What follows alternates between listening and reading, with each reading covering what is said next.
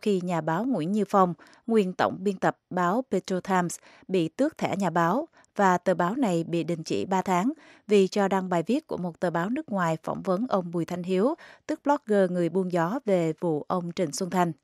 VTV đã truyền hình cuộc họp báo của chính phủ hôm 4 tháng 10. Theo đó, Bộ trưởng Bộ Truyền thông và Thông tin Trương Minh Tuấn trả lời vụ việc này như sau. Đối với ông Trịnh Xuân Thanh hiện đang là bị can bị truy nã quốc tế như chúng ta biết.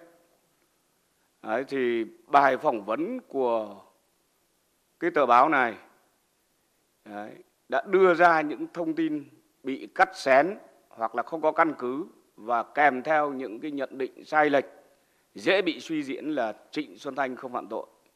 Việc cho đăng tải bài báo nói trên là còn gián tiếp lái dư luận hiểu sai lệch về vụ án này. Và việc làm đó không những chỉ gây nhiễu loạn thông tin mà còn gây cản trở cuộc đấu tranh chống tham nhũng và tội phạm kinh tế, gây hoang mang cho dư luận và gây bất lợi cho các cơ quan bảo vệ pháp luật qua những cái tiếp xúc với cả người anh Thanh hoặc là có những cái kênh riêng thì anh cho biết là cái tâm trạng hoặc là cái suy nghĩ của anh Thanh về cái uh, quy kết tội cho anh ở việc đã làm thất thoát như vậy như thế nào? Ở trên báo chí thì chúng ta đều đọc một điều là báo chí có một cái sự định hướng gần như gắn cho Trịnh Xuân Thanh là tội tham nhũng. Nhưng mà thực ra ở trong những cái văn bản của Ủy ban Kiểm tra Trung ương hay cả các quyết định của chính sách hoặc là các tất cả đều chỉ nói là đây là thất thoát. Và tôi có một cái số ờ, báo cáo của về của chính phủ của bộ công thương uh, uh, ở trong này uh, thì tất cả những cái bản mà thanh tra báo cáo kiểm tra các thứ kết luận ở trong này thì đều khẳng định rằng là anh Trịnh Xuân Thanh này là hoàn toàn là anh uh, không có một cái yếu tố nào tham nhũng ở trong này à, chỉ có những cái là những cái mà do chúng ta gọi là làm ăn lỗ vốn. Chúng ta gọi người ta gọi là thất thoát rồi là cái lỗ vốn thông thường. Bây giờ anh đầu tư vào đất đai bất động sản à, gặp thời thì anh gặp thời thì nó bán được thì anh là thành kinh doanh giỏi mà gặp thời anh không bán được thì anh thành thua lỗ. Có thế thôi chứ nó đâu phải là một cái chuyện mà mà uh, mấy nghìn tỷ uh, mà đút vào túi được ai đâu. Có những cái bản ở trong ngày kiểm tra thanh tra của chính phủ bản kết luận đều có cái khẳng định rằng là không có cái dấu hiệu mà mà tức là tư lợi cá nhân ở trong này đã thanh tra đã kết luận rồi và có đóng dấu hẳn loi là đây là chỉ hoàn toàn là do cái việc mà làm ăn rồi bắt đầu là thua lỗ đơn thuần. À, trong khi đấy thì báo chí thì cứ đè anh thanh theo chiều hướng là đây là một con sâu mọt rồi còn tham nhũng rồi thế này thế kia. Thì uh, anh thanh thì anh muốn trình bày như thế. Thì uh, tất cả đây là những người có chức có quyền và có trách nhiệm liên quan thì lúc đấy thì họ đã họ đã đã làm việc và họ khẳng định là xác nhận là anh thanh anh anh không có anh không có vi phạm gì lúc đấy bộ trưởng lúc đấy thủ tướng lúc đấy thì đến bây giờ thì bây giờ lại bảo là bây giờ là uh, bây giờ nếu mà bảo bây giờ mà vi phạm thì thì thì tất nhiên là phải đi hỏi những cái người như ông ông Hoa. Các bạn đã biết là tờ thời báo có phỏng vấn tôi về vụ việc của anh Trịnh Xuân Thanh thì tôi trình bày trên những ờ, văn bản và giấy tờ mà anh Trịnh Xuân Thanh cung cấp. Uh, ở với nguyên tắc của nghề báo thì uh, tôi uh, có được tài liệu gì tôi có nhìn được thấy gì và tôi có trông thấy gì thì tôi uh, tường trình lại như thế và tôi không có hề có sự thêm mất hoặc là đưa cái nhận định cá nhân của mình uh, vào mang tính chất có suy diễn. Uh, đưa cái chương trình phỏng vấn đấy lên báo thì uh, tờ Metro Time của ông uh, Nguyễn Như Phong có đăng lại uh, cái phần uh, một phần đầu tiên và trong cái phần đấy thì nó không có một uh, vấn đề gì mà nói xấu đảng hoặc là nói xấu nhà nước nói xấu chính quyền Việt Nam cả. Mà chỉ trình bày rằng là uh, anh chị Xuân Thanh anh ấy muốn được uh, trình bày uh, anh ấy muốn được gọi là thanh minh. Uh, nhưng mà không có tờ báo nào ở trong nước uh, cho anh phép anh ấy thanh minh mặc dù anh đã đưa uh, tài liệu đến một số nơi anh đã có gửi thư đến nhưng gửi thư đến cho báo thanh liên à, nhưng mà không được. Thì à, với cái cương vị của người làm báo thì tôi thấy thời báo chấm đe và à, bản thân của tờ Metro Time họ đưa lại cái vấn đề này rất là công tâm và rất là khách quan. Nhưng à, vì một cái sự việc này mà ông Nguyễn Như Phong của báo Metro Time bị kỷ luật à, bị bị tước thẻ nhà báo và bị cách chức của tổng biên tập. Về cái việc cách chức tổng biên tập thì uh, đấy là cái uh, vấn đề của tổ chức uh, của nhà nước Việt Nam chúng tôi không bàn. Nhưng mà riêng vấn đề là thẻ nhà báo thì uh, bị tức thẻ thì tôi thấy uh, đây là một cái việc làm nó không được mà đúng trên quan điểm mà tự do báo chí ở kể cả ở Việt Nam đến ở các nước khác trên quốc tế. Uh, ông uh, Trương Minh Tuấn ông nói rằng là uh, đầu tiên thì ông mở đầu rằng ông cho tôi là bùa đối tượng ông Bùi Thanh Hiếu là một đối tượng là uh, gây rối trật tự hoặc là tuyên truyền chống phá nhà nước bấy lâu. Nếu mà ông dùng cái khẳng định đấy để mà kết tội ông Nguyễn Như Phong thì tôi cho rằng là ông Trương Minh Tuấn ông không xứng đáng. Vì cái trách nhiệm của nhà báo thì khi người ta hỏi tôi thì không như là hỏi một nhân chứng. Người ta có thể hỏi một người trộm cắp hoặc là một người đi bán hàng rong hoặc là một người uh, nào đấy người ta đứng kia người ta chứng kiến được một cái việc gì đấy thì người ta hỏi và là người đấy nhìn thấy gì trông thấy gì chứ người ta không thể nào mà bảo là đấy là một uh, tên ăn trộm hoặc là một người bán hàng rong thì không đủ tư cách là hay là đưa người uh, trộm lên để làm nhân chứng. Ừ, mà phê phán chỉ trích thì như thế là không đúng với cái nghiệp vụ của người làm báo người làm báo thì nghiệp vụ của họ là họ thấy gặp ai người ta chứng kiến cái gì, trông thấy cái gì thì họ hỏi và chỉ thế thôi tiếp với là ông uh, Trương Minh Tuấn ông ấy uh, nói rằng là cái văn bản hay là những cái chứng từ mà thời báo chấm đe đưa lên và Metro Tham đưa lại là nó bị cắt xén hoặc là bị uh, không đầy đủ thì lúc đây là ở trong trước rồi tôi đã đưa cả một tập hồ sơ đấy cho thời báo chấm đe và tất nhiên là trong một cái thời hạn có lương thì người ta không thể làm người ta trình chiếu đổi đủ cái văn bản cả. Nếu như mà họ có đủ thời gian trình chiếu thì họ tôi đưa họ nguyên bản để họ mà họ đưa lại. Tuy rằng tôi nói thẳng là tôi không ưa gì ông Nguyễn Như Phong nhưng mà chúng ta đều là những người viết chúng ta đều là những người làm báo. Tuy rằng không ưa nhau là một chuyện nhưng mà trong những cái cách xử lý hoặc là những cái người uh, ta gọi là người đồng nghiệp của mình mà họ bị một cái hạn mà bị cái tai họa mà không đúng với họ thì chúng ta cũng cần phải lên tiếng để mà làm rõ minh bạch của sự việc này. Chào anh uh, chào anh uh, Trương Duy Nhất chào anh Phạm Chí Dũng. Chào anh Nhất, chào, chào, chào mừng Dũng. chào mừng hai hai hai vị đến với chương trình Việt Nam trong tuần của Kính Hòa và Cát Linh À, thưa chắc là hai anh đều có theo dõi câu chuyện về ông Nguyễn Như Phong bị cách chức tổng biên tập báo Petro Times. Thì qua hai câu chuyện này, à, hai anh có một cái nhận xét gì về cái sự kiện đó? Có vẻ như là nó chưa có tiền lệ trong lịch sử truyền thông báo chí Việt Nam một cách công khai như vậy. Câu hỏi đầu à, xin xin nhường lời à, xin dành cái à, phần trả lời đầu tiên cho anh à, Phạm Chí Dũng. Yeah Ờ, có thể nói là có một cái sự việc uh, chưa có tiền lệ bao giờ. Tức là cái việc mà uh, một cái tờ báo nhà nước lại đăng một cái bài của một cái đối tượng mà nhà nước coi là cực kỳ phản động tức là người buôn gió Bùi Thanh Hiếu. Uh, chuyện đó thì từ trước tới giờ chưa có bao giờ xảy ra. Chỉ còn cái chuyện mà cách chức tổng biên tập thì đã thường thỉnh thoảng xảy ra ở Việt Nam cho đối với báo nhà nước. Vâng. nhưng mà vâng. tôi muốn nói đây là lần đầu tiên xảy ra cái chuyện đó. Anh uh, Trương Duy Nhất À, đúng là như anh Phạm Chí Dũng nói khi nãy thì uh, cái việc uh, nó khác lạ đầu tiên là cái việc một tờ báo chính thống của nhà nước lại đăng cái tin của anh Bùi Thanh Hiếu anh phỏng vấn Trịnh Xuân Thanh theo cái luồng thông tin mà nó ngược như thế chứ còn cái chuyện mà đột ngột cách chức không chỉ một tổng biên tập mà hàng loạt tổng biên tập mà tự dung vào vùng dao chém hàng tàu loạt tổng biên tập thì lâu nay cũng xảy ra nhiều rồi chứ không phải bây giờ mới có. Dạ vâng. Nhưng à, em em đặt câu hỏi nhé dạ các linh có một cái thắc mắc đó là như anh à, trương duy nhất vừa mới nói tổng ông tổng biên tập của một tờ báo chính thống đã đăng một bài một bài viết mà anh Phạm Chí Dũng cho là cực kỳ phản động. Thì cái vấn đề đó đã nói lên như một cái một cái điều gì thưa hai anh? Hai anh tức là hai anh nhận xét như thế nào về cái à, cái sự việc như vậy? Anh Dũng. Tôi thì dạ.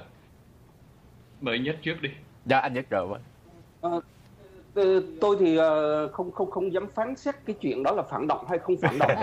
Mà cái thông thông Chắc tin là anh Dũng nói phản động trong nháy nháy.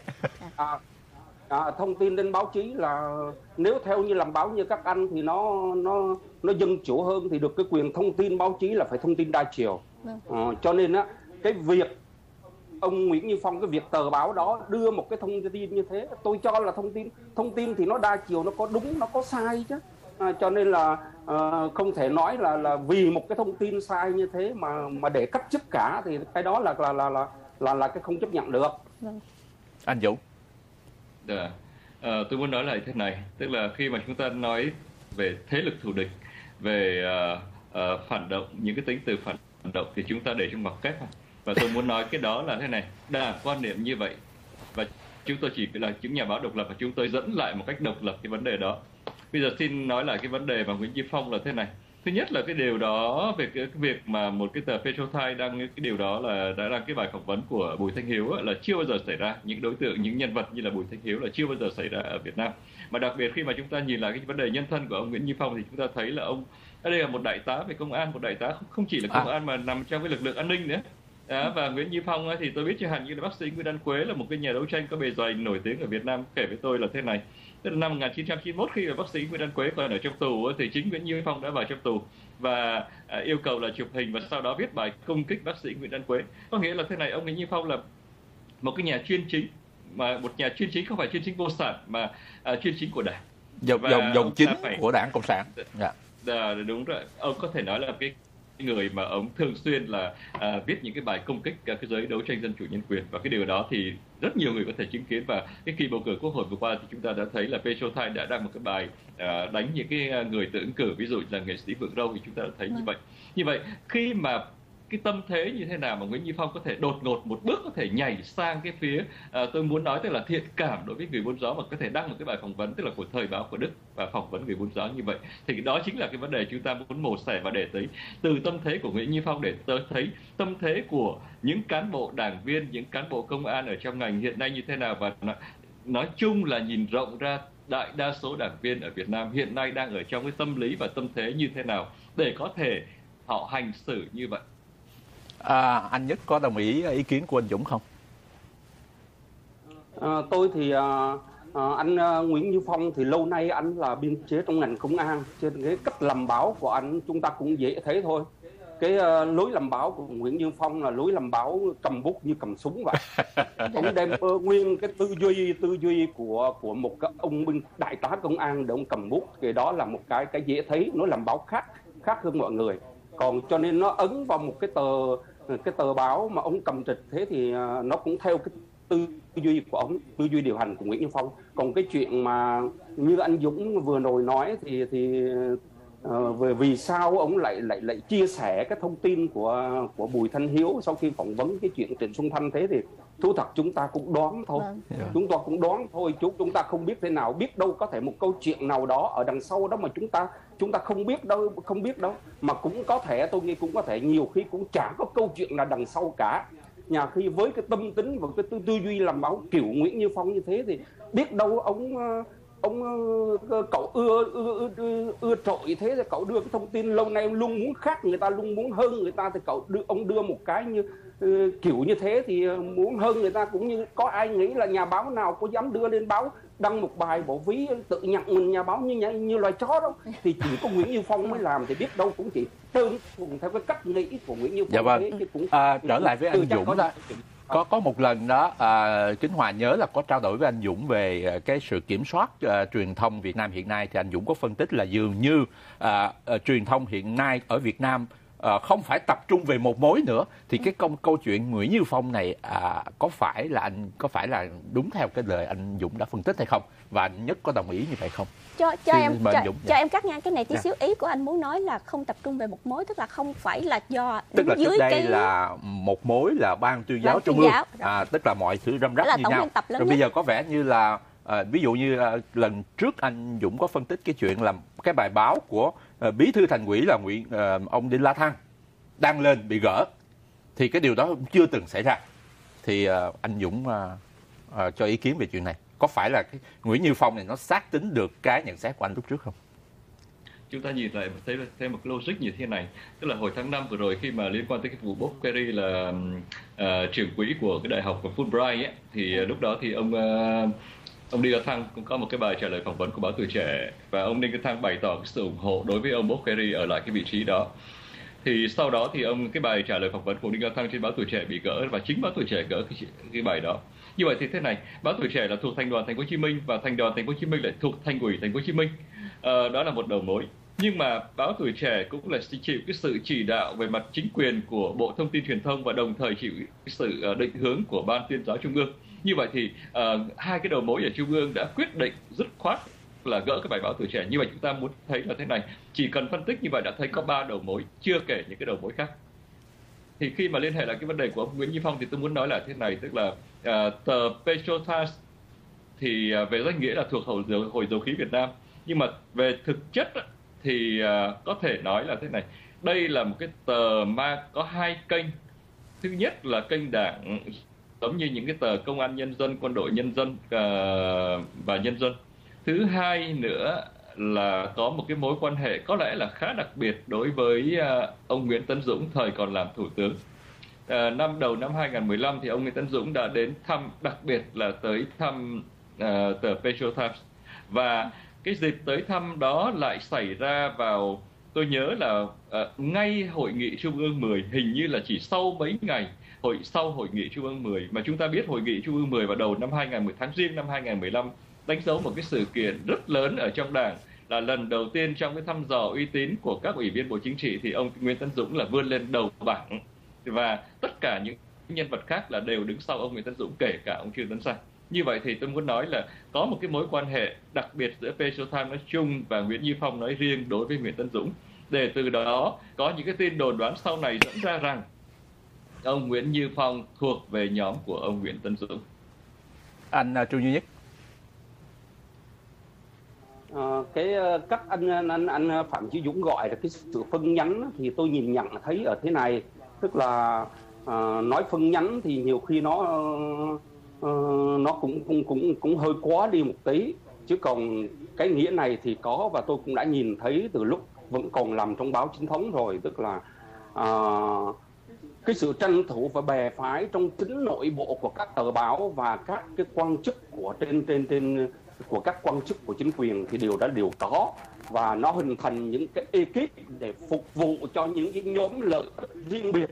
Nhiều khi mâu thuẫn lẫn nhau, để đấm đá lẫn nhau thì điều đó là điều có thật.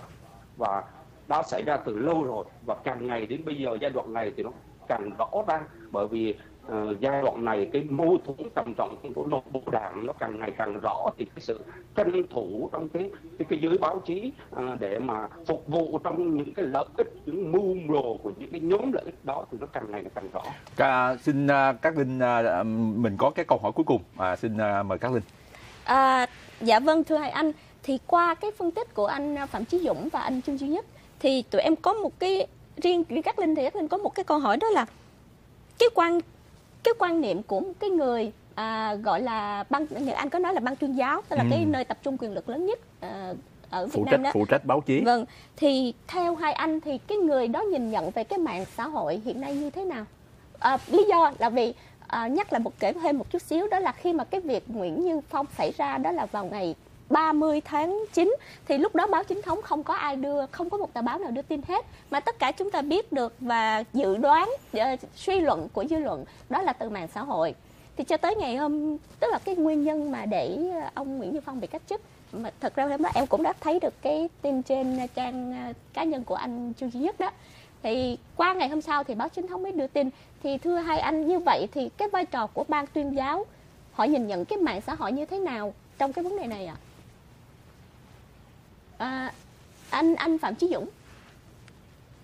Ờ, tháng 8 năm 2015 lần đầu tiên ông Nguyễn Tân Dũng lúc đó còn là thủ, thủ tướng đã phải à, thốt ra trong một cái cuộc họp chính phủ. Chúng ta không thể ngăn được mạng xã hội đâu các vâng. đồng chí ạ. À. Vâng. Chúng ta nhớ câu đó ha, đó là một cái câu mà theo tôi đó là một cái tôn chỉ mà cũng uh, sau đó định hướng luôn cho cả ban tuyên giáo. Ừ. Và chúng ta thấy là dẫn chứng ngay, tức là có bằng chứng ngay là đến uh, trước đại hội 12 thì uh, nổ ra một cái cuộc chiến hai ba phe gì đó trên mạng xã hội. Và lúc đó báo chí nhà nước tuyệt đối không dám tham gia mà chỉ có mạng xã hội tham gia mà thôi. Và lúc đó thì có những cái bàn tay bí mật nào đó đã tung những cái tài liệu rất nội bộ tài liệu rất nội bộ kể cả những cái tài liệu của trung ương đặc ủy tình báo uh, Việt Nam Cộng Hòa lên mạng xã hội liên quan tới một số nhân vật kể cả cái bức thư giải trình 12 điểm 9 trang của ông Nguyễn Tân Dũng đối với Bộ Chính trị lên mạng xã hội như vậy thì cái điều đó cho thấy là người ta không nói ra nhưng mà đối với mạng xã hội đó là một vai trò cực kỳ quan trọng. Và theo một số cái hội thảo ờ, ở trong nội bộ mà tôi có nghe thông tin thì tất cả đều ngán mạng xã hội. Và báo chí nói thẳng là nếu mà cái tình hình mà ban tuyên giáo mà ngăn cấm báo chí chỉ đạo cho báo chí cầm tay chỉ việc cho báo chí như thế này thì đến một lúc nào đó thì uh, báo chí nhà nước sẽ bị triệt tiêu hết và chỉ còn lại mạng xã hội tồn tại mà thôi. Vâng. đó là Vậy câu trả lời cái uh, về chỗ ban tuyên giáo thì uh, thực sự cho đến bây giờ thì chưa nghe một phát ngôn nào của người đứng đầu ban tuyên giáo tức là ông võ văn thưởng nói về điều này cả à, cho nên là có một cái cảm giác tôi có cảm giác là người nào đó đang điều hành cái ban tuyên giáo chứ không phải ông võ văn thưởng này yeah. à, đó điều tôi thấy thấy thấy cũng khá thú vị nhưng mà tôi thấy ừ. là à, nói trên dũng đúng thôi bởi vì trước những cái sức mạnh truyền thông mạng bây giờ thì truyền thông mạng Facebook thì chính quyền nào cũng cũng cũng phải run sợ cả yeah. nhất nhất là những chính quyền độc tài à, thì cái đó là một uh, uh, một cái, cái cái cũng là một cái lợi thế của truyền thông mạng và cái Facebook người ta càng cấm thì người ta càng nhường cái cái thế trận cho truyền thông mạng thôi yeah. à, thì cái đấy cũng là một cái uh, một cái xu thế hay tôi cho là hay. Dạ vâng. À, xin cảm ơn anh Phạm Duy Dũng. Uh, dạ vâng. Dạ vâng. Tôi bổ tôi, tôi tôi bổ sung một cái cảm giác tại vì anh Trương Duy Nhất có cảm giác tôi cũng bổ sung một cái cảm giác của tôi là ban tuyên giáo hiện nay hình như không phải ông Võ Văn Thưởng mà là hình như là hình như là ông Đinh Thế Huynh. Dạ vâng, dạ vâng. Dạ xin à, cảm ơn anh Phạm Chí Dũng và xin cảm ơn anh Trương Duy Nhất đã dành thời gian thời gian để uh, cho cái cuộc trao đổi với chúng tôi. Xin cảm ơn hai anh. Dạ. Xin cảm, cảm ơn, vâng, cảm ơn hai anh rất nhiều. Dạ. Dạ. Dạ, cảm ơn anh Khánh Hòa, cảm ơn Diễn Linh và cảm ơn uh, quý vị đã cho chúng tôi uh, có được cái cái buổi trao đổi về cái đề tài thú vị này. Dạ, xin cảm ơn. Dạ. dạ. À, xin uh, kính chào uh, xin chào anh. quý dạ. khán thính giả của Đài Châu Tự Do và cũng uh, kính chào các uh, follower trên Facebook của Đài Châu Tự Do và xin hẹn lại gặp lại các bạn uh, giờ này tuần sau. Xin chào tất cả.